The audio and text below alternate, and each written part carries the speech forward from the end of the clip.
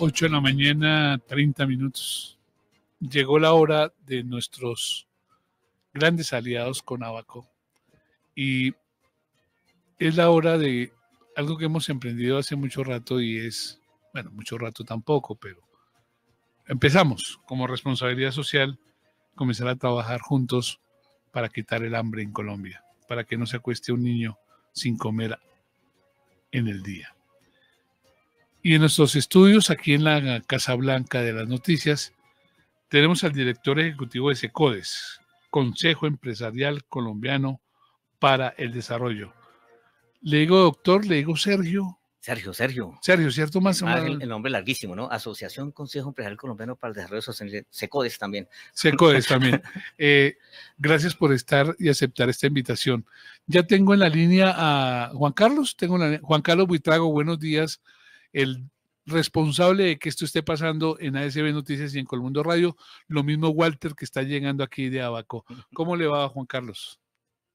Andrés, buenos días. Sergio, qué bueno saludarlos. Diego, Germán, acá estamos listos para nuestro programa de media hora todos los jueves. Eh, señor, usted me hace un favor. Es que yo le digo Secodes. Y entonces yo puedo preguntar inmediatamente, ¿cierto, Ricardo? ¿Puedo hacerlo? Sí, claro, puede hacerlo. ¿Quién está en SECODES? ¿Cómo es SECODES? ¿Cuántas personas son? ¿Cuántas empresas son? ¿Cómo es? Bueno, Andrés, te voy a contar un poco lo que somos nosotros. SECODES lleva más de 30 años. El año pasado cumplimos 30 años hablando de sostenibilidad. Digo que hablamos de sostenibilidad cuando esto era extraterrestres. Hoy en día todo el mundo habla de sostenibilidad, pero hace 30 años era rarísimo que un empresario le apostara a temas de, sostenibilidad.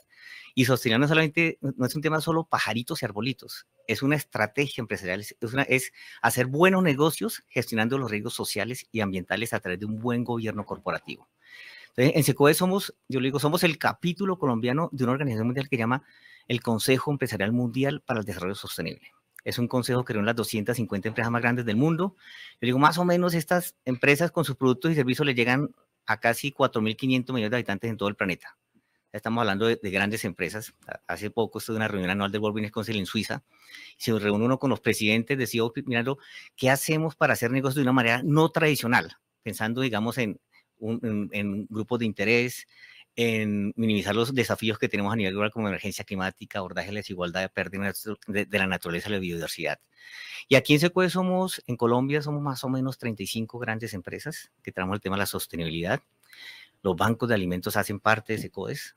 Yo estoy feliz de que aquí compartir con, con Juan Carlos, que lo admiro por todo esa, lo que hacen los bancos de alimentos, digamos, en temas de, de, reducción del hambre, de seguridad alimentaria, es fantástico. Entonces yo creo que, que esa, para mí el tema de, hacer una, empresa, tener una organización con propósito y tener claro el propósito, en, esta, en el caso de los bancos de alimentos, es ayudar a reducir el hambre en el país y, tener una seguridad alimentaria fantástica. En SECUES, entonces, lo que hacemos es acompañar a estas empresas asociadas para que sean sostenibles, que tengan esa ruta de la sostenibilidad. Alineados a estos tres desafíos, yo creo que ya estamos sobrediagnosticados en los desafíos que hay, pero también es cómo apalancamos y fortalecemos y, y le decimos a las empresas, miren, hay que salirnos del modelo de negocio tradicional no solamente es ganar plata, es hagamos buenos negocios, pero también generemos impacto social positivo.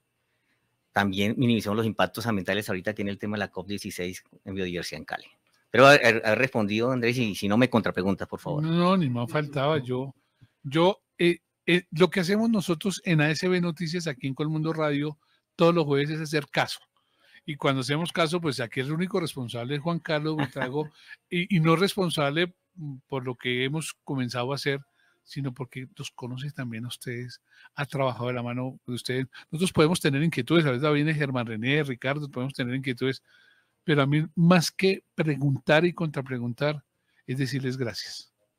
Y decirles gracias junto con Abaco por aceptar no solo esta invitación, sino por creer en este país y que podemos ser diferentes. Entonces, Juan Carlos, está nuestro invitado, está su invitado y está esta mesa de trabajo que los jueves cambia de conductor y se llama Juan Carlos Buitrago. Así es sencillo.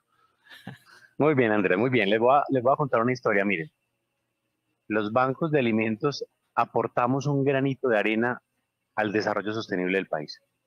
Las pérdidas y desperdicios de alimentos, que ya lo hemos hablado en este programa, hoy se vota en la tercera parte de alimentos que produce el país y representan el 8% del total de gases de efecto invernadero del planeta. Oiga, pues. Entonces, los bancos de alimentos, hoy trabajamos con 1.600 empresas y a todas les entregamos un informe de triple impacto con los productos que deciden donar, cuántas personas estamos atendiendo, cuántos kilos de CO2 estamos dejando de emitir al ambiente, el impacto económico, cuáles son los beneficios que ellas tienen por no eh, tener que pagar por votar esos productos, eh, cuáles son los beneficios tributarios. Entonces, generamos impacto ambiental, económico eh, y social hacia las empresas. Sin embargo, el que sabe de desarrollo sostenible es Sergio. Entonces, vamos a arrancar. Sergio, ¿Cuál es el propósito de ese código? Ya lo dijiste, pero quiero que, reiteremos el propósito y háblanos un poco de esa visión 2050 con enfoque empresarial. ¿Qué es visión 2050 con enfoque empresarial? Me encanta, Juan Carlos, qué bueno que, mencionas ese, e, esa hoja de ruta. Para nosotros, digamos, como estamos sobrediagnosticados ya en, repito, tenemos tres desafíos a nivel global. Si uno como organización quiere hacer algo, identifica esos tres desafíos y eh, busquemos soluciones locales para problemas globales. Entonces, emergencia climática, pérdida de naturaleza y biodiversidad y creciente desigualdad. Con esos tres desafíos, uno identifica hojas de ruta. Están los objetivos de desarrollo sostenible que son impulsados por Naciones Unidas. Digo, posiblemente en el 2030, eh, Naciones Unidas va a estar hablando de la Agenda 2045 porque no vamos a cumplir la, Agenda 2030, los 17 ODS, desafortunadamente no los vamos a cumplir. La pandemia también nos generó una zancadilla al, al, cumplimiento de los ODS. Desde nuestra casa matriz hablamos de la visión 2050 desde el año 2010, pero esto es una visión con enfoque empresarial, y en el 2021 el World Business Council hace una, un refresh de esta visión 2050. Pasó la década de la turbulencia y, actualizó esta visión 2050, que es qué tenemos que hacer para ser sostenibles al año 2050, donde el mundo va a, ser más, va a tener más o menos 9.500 millones de habitantes, que estas personas vivan bien sin sobrepasar los límites del planeta. O sea, que tengamos buena calidad de vida, pero que el planeta nos alcance. Entonces, para esto el World Business Council con enfoque empresarial hace, hace esta actualización el 2021 y en SECOES decide hacer la visión 2050 Colombia. No le da un gobierno, sino la visión 2050 con enfoque desde SECOES, donde nuestras empresas firmaron un compromiso para decir, esta es nuestra hoja de ruta con enfoque empresarial. Colombia en el año 2050 se espera que tenga aproximadamente 62 millones de colombianos. ¿Y qué tenemos que hacer para que esos colombianos tengan buena calidad de vida sin sobrepasar los límites del capital natural? Teniendo en cuenta que hay emergencia climática, que las personas más vulnerables son las personas que van a recibir más impactos. Entonces, aquí lo que proponemos son nueve caminos de transformación. Esto es un nueve caminos de transformación que realmente son donde las empresas generan productos y servicios.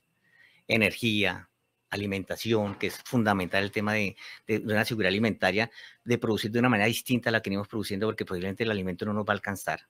Cuando hay emergencia climática, hay sequías, pero también hay inundaciones y los pequeños productores en el campo pierden su, su, producción agrícola. Entonces, aquí lo que proponemos es una hoja de ruta con enfoque empresarial consciente. Y, y, esta hoja de ruta, Juan Carlos menciona tres R's que me encantan, es la reinvención del capitalismo.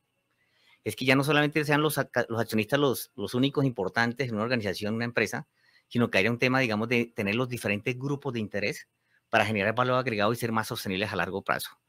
Una R que se llama la resiliencia, es identifiquemos en un mundo cambiante lo que está pasando, cómo nos adaptamos a estos cambios y no nos opongamos, sino identifiquemos cuáles son los beneficios y, las ventajas que tienen esos cambios para mi estrategia empresarial. Y una R que es fundamental, el enfoque regenerativo, la regeneración. Ya, no, ya tenemos que ir más allá de no solo hacer daño, tenemos posiblemente que restaurar o arreglar ya el daño que generamos como raza humana en, el, planeta. Entonces, esta visión 2050 está firmada en un comité consultivo con Jeffrey Sachs, que fue uno de los creadores de los Objetivos de Desarrollo Sostenible, donde dicen estos científicos, esta es una ruta focalizada y aterrizada para ser sostenible al año 2050. Colombia lanzó esta visión 2050, está en nuestra página web, es un documento muy sencillo de comprender y está totalmente articulado también a la, Agenda 2030, que son los Objetivos de Desarrollo Sostenible. Juan Carlos, si no contesté, por favor, aquí estamos.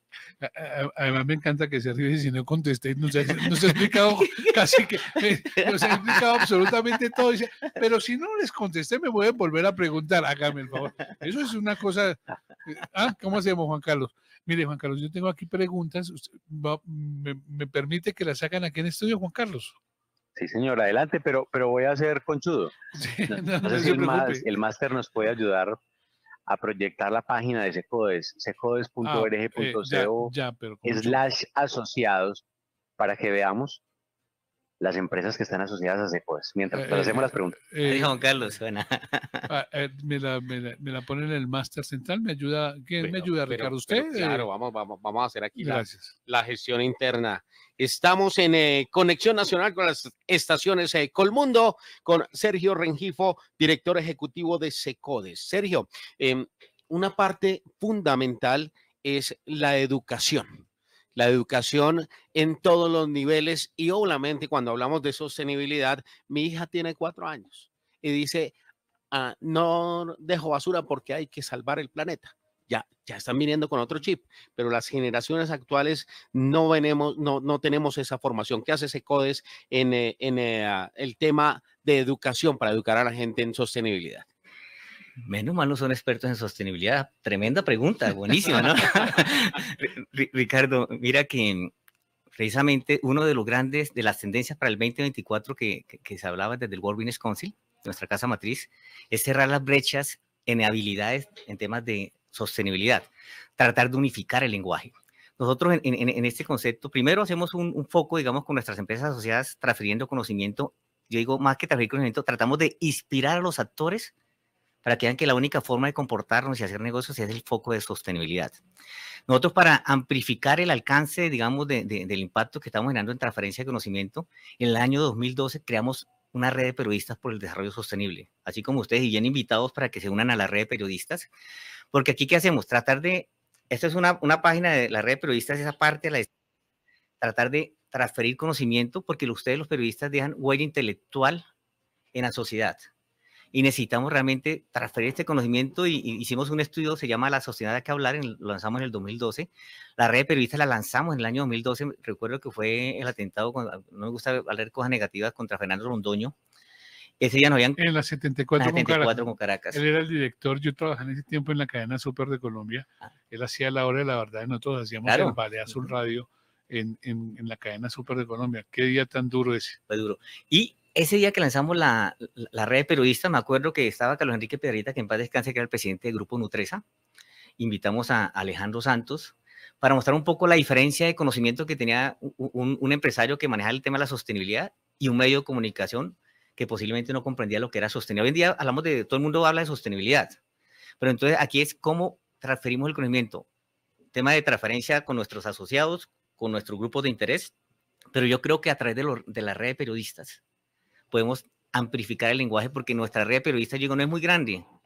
Tenemos solamente 500 periodistas inscritos que los, apenas. que los capacitamos en temas de sostenibilidad. Es en Colombia y en América Latina. Se conectan periodistas de México y hacemos capacitaciones y transferencia de conocimiento. Y lo más importante, tenemos medios comunitarios, que yo creo que para la labor de los bancos de alimentos es fundamental e importante, porque es- estos medios comunitarios necesitan contenido, fuentes de información, pero también fuentes de financiamiento para poder comunicar en estos territorios y qué bueno a través de estos medios de comunicación poder apalancar y fortalecer esa- esta transferencia de conocimiento. Pero no crea que Eh, solo los, los comunitarios, por ejemplo, a veces para las labores periodísticas es difícil ir a visitar otros puntos por el falta de, de requerimientos técnicos. Me parece muy loable la función que Sí. ustedes hacen, en. Eh, déjeme, eh, estoy revisando los, los, las personas que están. Está Alfa, Alianza TIN, Azocol Flores, Paz, Química, Zenit, Colgas, Colsubsidio, Confenalco, Corfe, Corona, Corpo Hasi, EPM, se me pasa Fe, Fede Palma, mire, Fede Arroz, Fede Palma. FENAVI, Frontera, GDO, Grupo Argos, Grupo Bolívar, en fin, Postobón, Papco, Surtigas, Tele. Oiga, Juan Carlos, ustedes son unos duros, definitivamente. A ver, eh, Germán, usted tiene Pero faltó el más importante, los bancos de alimentos, ¿no? No, no, dije el primero que, no, lo primero que dije fue Abaco. ¿O no lo dije? Arrancó en alfa, pero, pero, pero Ah, está expreso. eh, que eh, sí. Déjeme, sí. déjeme for- Eh, fortalecer el mensaje. Veo, Sergio, que usted me vino a escuchar aquí y está bien, no hay problema. Pero, pero apréndale a Sergio. Dije esto, si me faltó alguno, me dice yo. Germán René. Sergio, pues eh, cuando uno está inmerso tanto en un medio de comunicación como en esta, digamos, nueva cultura de la sostenibilidad, uno como periodista entiende eh, hacia dónde vamos, pero ¿cómo explicarle en, en palabras muy concretas y muy fáciles de entender a un oyente común y corriente cómo se está generando algo que usted mencionó, impacto social positivo, un hecho concreto para evidenciar ese impacto social positivo? Claro que sí, buena pregunta. No, no, aquí están todos expertos. nosotros, y yo hablo también sobre la, sobre la experiencia real, o sea, yo creo que cuando uno tiene proyectos y vive en los territorios e- estos, estos impactos, yo creo que uno tiene toda la autoridad para decir, oiga, sí se puede generar cambios y hacer proyectos con impacto. Secoes trajo a, a Colombia un proyecto que fue cuando nos conocimos con Juan Carlos, un concepto que llama negocios inclusivos, que es vincular a personas de bajos ingresos a la cadena de valor de las empresas, es decir, poner a producir a las personas de bajos ingresos cosas que se les van a comprar. En el país, ¿qué pasa normalmente? Po- Ponemos a producir a los productores, cultiven y luego miramos a quién le vendemos. No, el concepto es qué necesita el mercado y luego sí pongámoslos a producir partiendo de un mercado asegurado. Pero eso no solamente genera el ingreso, es también identificar qué necesidades básicas y satisfechas pueden tener las comunidades en los territorios. Uno- un proyecto que hicimos en los Montes de María en el año 2010, yo estuve en Montes de María casi siete años trabajando el proyecto. Primero la diferencia fue que el proyecto duró más de lo que duran los proyectos en el país, en una región, que son de tres o cuatro años, o porque los recursos de cooperación internacional, o porque un gobierno di- dispuso los recursos. Aquí fue un proyecto que lo apalancamos y lo fortalecimos, mejoramos la calidad de vida de casi 8 mil personas en impacto. ¿Y eso cómo lo mide uno? Es cuando uno arranca un proyecto, uno tiene que hacer una línea base, ir a conocer territorios, Montes de María, uno- una cantidad de municipios alejados. eh, el campo tiene estratos sociales también. Eh, la finca que está más cercana a la vía principal es estrato alto. La finca que está más lejana de la vía pri- principal es estrato bajo, porque sacar sus productos y servicios es muy complicado, porque no tiene unas vías terciarias. Entonces, aquí, cuando uno arranca y tiene un- una línea base, sea, necesidades básicas insatisfechas, un, análisis socioeconómico, coloco un ejemplo. Cuando arrancamos el proyecto, el PIG de las comunidades era de menos 57 mil pesos. Un año después, el PIG era de un millón de pesos, con proyectos de corto, mediano y largo plazo. La apicultura, por ejemplo, genera ingresos y ayuda también a la naturaleza. El tema de Mango, una empresa ancla que se llama Postobón. Entonces, es, articular el sector empresarial para buscar hacer buenos negocios con impacto social. Y aparte del ingreso, eso fue un, impacto interesante, pero a veces el ingreso puede volverse eh, en contravía y puede tener impactos negativos. En- en- yo lo digo jocosamente, hoy le estamos dando platica al productor para que tenga sucursal. No, es generar, digamos, un acompañamiento social también fuerte. Y aquí también llevar, digamos, a comunidades que antes sus hijos estaban trabajando, estudiando en la universidad y se quedan en Carmen de Bolívar porque en su casa sus papás no tenían ya un baño y ellos ya habían educado, unas letrinas y lograr que los hijos ya no se queden en un hotel en Carmen de Bolívar, sino que vayan porque ya tienen una letrina al menos, es empezar a generar impacto. Y lo más importante es en un, en un territorio golpeado por la violencia, cómo fortalecer, digamos, ese tejido social. Comunidades que antes no se podían ver porque uno era de un grupo, otro otro grupo y se odiaban. Pero cuando uno genera un proyecto que genera esperanza y tiene un objetivo común, logra fortalecer ese tejido social. Se encontraban en el Carmen de Bolívar y decían, oye, somos la familia Asproacet NI. Entonces, eh, eh, eso, Germán, me parece que son impactos que realmente pueden marcar la diferencia. Sin duda, sin duda. Y de paso creería, Sergio, ya para cerrar mi participación, se propicia algo que todos los días se habla sobre el campo, el relevo generacional. Eh, si ya los jóvenes ven que se vive de otra forma, seguramente vuelven, salen a capacitarse, pero vuelven a ejercer en su territorio. Aquí hay un tema importante y yo creo que lo hacen los bancos de alimentos también. Digamos, cuando uno aborda a los jóvenes y empieza a fortalecer ciertas, ciertas necesidades que tienen y a fortalecer, digamos, su, en el caso de la nutrición es fundamental, pero también en el, caso de la transferencia con en capacitarlos es fundamental. Yo siempre digo, el, el campo no es más que se está envejeciendo, es que no estamos generando las oportunidades necesarias para que los jóvenes se queden en los territorios. Aquí yo digo, siempre lo digo, si yo como, como joven veo a mi papá que se ha trabajado toda la vida y sigue igual de vaciado, pues lo último que quiero ser como mi papá. Claro, muy Entonces, lo que tengo que generar es oportunidades distintas para que el joven diga, oye, qué chévere. Y nos pasó en el proyecto, cuando llegamos al proyecto, un joven tenía 14 años.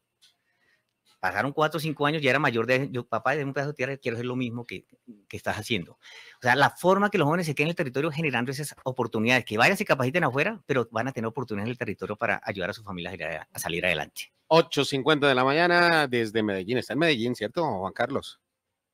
Sí, señores, sí, señores, estamos aquí haciendo fila porque voy a hacer el trámite de la visa para Australia porque nos vamos para el Encuentro Mundial de Bancos de Alimentos, Andrés. Imagínense ¿Cuá- ustedes transmitiendo desde ¿Cuándo nos Australia. vamos? Pero porque Medellín está. eh, eh, ahí sí me invita, ¿no? Eh, venga, ¿y cuándo se va? En, esta- en Medellín está. eh, la ma- ¿Cómo es el tema? ¿Por qué Medellín? Es que allá saca uno la visa con, con bandeja paisa. Con chicharrón de ocho carriles. Eh, venga, ¿y por Es qué Medellín? En Medellín también hay cositas, también hay, hay oficina en Bogotá, pero también hay oficina en Medellín. Ah, no, me alegra. Hay consulado en Medellín. Hay, no, esto es una oficina especial donde hacen todo el, eh, el sistema de recolección Eh, biométrica para la visa, entonces acá estoy. Eh, nos trae a Chiras cuando vaya a Australia. Muy bien. Andrés, le voy a contar un desafío que tenemos en Colombia. Necesitamos que cada vez más pequeñas, medianas empresas, grandes, acojan todos estos conceptos de sostenibilidad y los incorporen a su estrategia de negocio. ¿Cómo? Muy fácil. Ingresando a secodes.org.co, buscan a Sergio, a todo su equipo y se asocian a Secodes. Sergio, un ejemplo de una empresa, echémosle flores a una empresa o a dos, que lo esté haciendo bien por el desarrollo sostenible y por qué lo está haciendo bien. Y Juan Carlos, son varias. Voy a hablar particularmente, pues, tenemos la empresa de alimentos más sostenible del mundo, Grupo Nutresa. Grupo Nutresa es, una empresa que arrancó, yo recuerdo cuando hablé con, en su época con Carlos Ignacio Gallego, que era el presidente, no es Grupo Nutresa, sino el presidente de Servicios de Nacional de Chocolates. Bueno, Sí, antes era San Nacional de Ajá, Chocolate, sí. Eso pasó a ser todo lo que había pasado, pero... Y cuando, y cuando empezamos a trabajar con ellos, hacían las cosas tan bien que llegar la- al, al concepto de sostenibilidad fue muy fácil. O sea, la sostenibilidad nada distinto a hacer, las hacer la- los negocios como se deben hacer. Entonces, el Grupo Nutresa tiene un- un- unos temas fundamentales. El mejor, uno de los mejores reportes de sostenibilidad, el Grupo Nutresa. Hay otras empresas también como Grupo Argos, eh, Team Food. O sea, hay una cantidad de empresas que están haciendo las cosas bien. Juan Carlos, tú mencionas un tema fundamental, es fortalecer, y, es un gran, un gran desafío que tenemos y las tendencias. Supply chain que llaman es la cadena de valor. Estas grandes empresas que lo están haciendo muy bien, Juan Carlos, como Grupo Nutresa, es cómo fortalecer también e inspirar a su cadena de valor, que son en su- mayoría pequeñas y medianas empresas, para que vean este marco conceptual como una forma distinta de hacer negocio. Digo, la sostenibilidad es buen negocio. Yo aquí les coloco un ejemplo. Si ustedes quieren exportar, no sé, a Europa, una empresa mínimo le van a pedir un tema de derechos, una política de derechos humanos, una debida diligencia. Entonces ya no es un tema, digamos, oiga, me toca hacerlo, no, es un tema diferencial de mercado. Y eso es lo que estamos, hay que mirarlo. Cuando las empresas abordan estos marcos conceptuales de la sostenibilidad, es una forma diferencial de mercado. Y esas empresas que menciona Juan Carlos, que me dice que echémosle flores, Grupo Nutresa lo ha hecho muy bien. Y yo creo que en lo que está pasando uno ve, digamos, la diferencia de, de mercado. Son empresas que inspiran. Y, y aún así, las mejores empresas del mundo, entonces le faltan cosas abordar y trabajar dentro del marco conceptual de la sostenibilidad. Grupo Nutresa, por ejemplo, eh, hay, hay una afiliada a, los bancos de alimentos, eh, Juan Carlos, que es Alquería, que están haciendo las cosas muy bien. Yo creo que, eh, Juan Carlos, ejemplos hay muchos, no quiero mencionar muchas palabras, que por, por qué no me mencionó a mí o otra, pero tenemos un tejido empresarial muy responsable que ha identificado el marco conceptual de la sostenibilidad como eje estratégico, pero también como la forma no tradicional de hacer negocios. Sergio, vamos a hacer una cosa. Siempre hay que dar algo de una visita como las eh, grandes visitas que siempre nos han acompañado a esta hora, Juan Carlos. Vamos a hacer una cosa, vamos a nombrarlas a todas, de a cinco, de a diez, de las que sea, vamos a nombrarlas a todas porque todas se merecen. Que, estas, que esta sostenibilidad que quieren hacer las empresas, pero que también van a apoyar al Banco de Alimentos, pues las debemos mencionar, Ricardo. De Lo mínimo- acuerdo. lo mínimo que debemos hacer como agradecimiento, lo mínimo. Y el tiempo, cuando hablamos de, de, de 30 minutos eh, con Juan Carlos planeando esta locura que hoy es una realidad, decíamos 30 minutos, buenísimo, pero es muy corto. Yo quiero, eh, con el aval de Juan Carlos, de, de nuestro director de Andrés, eh, pedirle a Sergio que nos vuelva a acompañar en una próxima oportunidad, porque cuando yo abro la página de Secodes, lo primero que veo es un timer, un contador, un conteo regresivo para la COP16. Estuvimos en Cali con Andrés la semana pasada adelantando trabajos de preproducción. Queremos estar presentes en la COP16 y nos damos cuenta de que la gente no sabe qué es la COP16. Entonces, en otro escenario, eh, agradeciendo obviamente lo que hacen con Abaco, quiero extenderle una invitación para que hablemos de este tema en una futura oportunidad. ¿Nos da permiso, señor director Juan Carlos Buitrago? Claro que sí, autorizados, Andrés y Ricardo. muchas gracias, porque si a uno no le dan permiso, Sergio, usted sabe cómo. Gracias, Sergio, jefe. sí. ¿Sabe qué, Sergio? A usted y a mí nos toca como hacemos en la casa. Sí, caso. Lo tenemos clara, ¿no? Hacemos caso. Sergio, le quiero agradecer. No. Eh, ya Ricardo lo va a invitar con nuestra productora en estudio, Alexandra eh, Martínez, por favor, coordinamos. Sí me interesa saber lo de la COP16, Germán. Claro, claro. Eh, vamos a hacer Todos un enlace con Cali para que tengamos ese, esa participación Cali. Estuvimos trabajando en la preproducción, como le dijo Ricardo, y es increíble que el presidente diga, es escogida Cali, y 24 horas después no haya un solo hotel, una sola habitación en un hotel en Cali porque ya todo está copado. Eh, la economía que está viviendo la que va a mover la COP16. En fin, eso lo hablamos. ¿Nos, ¿Nos, promete que nos acompaña? Claro que sí, y además yo creo que nos toca ser muy cuidadosos en la transferencia de conocimiento porque hay gente que confunde la COP28, la ahorita viene la COP29 con la COP16, eh, con no, la COP16, son cosas aparte, es importante. Y lo hablamos. Uh -huh. eh, ¿Cómo se sintió? Perfecto, ¿no? ¿Sí? Buenísimo. Aquí además, viendo a Juan Carlos esperando que traiga la, la, la las chilas. Porque aquí, aquí estoy probando el manjar blanco que trajeron de Cali, Juan Carlos, está delicioso. No, y sabe qué, y sabe qué, eso que está un poquito viejito. ¿Sabes cómo se llaman las, las achiras en Australia? Se llaman aucheras. Eh, eh, Juan Carlos, un abrazo, gracias. Despida por favor esta media hora, Juan Carlos. Andrés, no, gracias a ustedes los bancos de alimentos de Colombia tenemos también una apuesta por el desarrollo sostenible. Esto lo aprendemos de SECODES, las empresas que quieran incorporar a su estrategia de negocio los temas de sostenibilidad, pues busquen a SECODES. Eh, los bancos de alimentos tenemos una apuesta por la inteligencia, por la nutrición, por el desarrollo del país y también todas las personas y empresas que quieran trabajar de la mano con nosotros pueden ingresar a www.abajo.org.co, buscan el banco de alimentos más cercano y nos juntamos para que construyamos un futuro sin hambre con SECOES, con el director ejecutivo Sergio Rengifo Caicedo, con Juan Carlos, el responsable que estos bancos de alimentos estén funcionando, y con ASB Noticias, que solo es un granito de arena en esta responsabilidad social contra el hambre, les decimos gracias, pero gracias será aquel día que en Colombia no haya hambre. Gracias, Sergio, por estar con nosotros. Andrés, muchas gracias. Y eh, para cerrar, necesitamos buenos seres humanos para transformar el mundo, yo, yo, creo, yo, yo admiro a Juan Carlos por, por, porque hace, le nace lo, lo que está haciendo y, y, generando ese impacto. Y yo le digo, necesitamos pasar de la retórica a las acciones y de la acción a la ambición para realmente transformar la forma en que venimos haciendo empresas para mejorar vidas. Cuenten con nosotros. Chao, Walter. Gracias por acompañarnos como siempre. Nuestra, la persona que siempre nos acompaña de abajo aquí. Gracias, Germán. Gracias, sí, Diego. Señor. Gracias, eh, Ricardo. Chao, Julián. Alexandra, nuestra productora en estudio. Nuestro ingeniero de sonido, Don William si fue gol de Yepes y por supuesto nos vemos con Jesús. Chao, nos vemos. Qué pena a las seis en punto mañana. Permiso.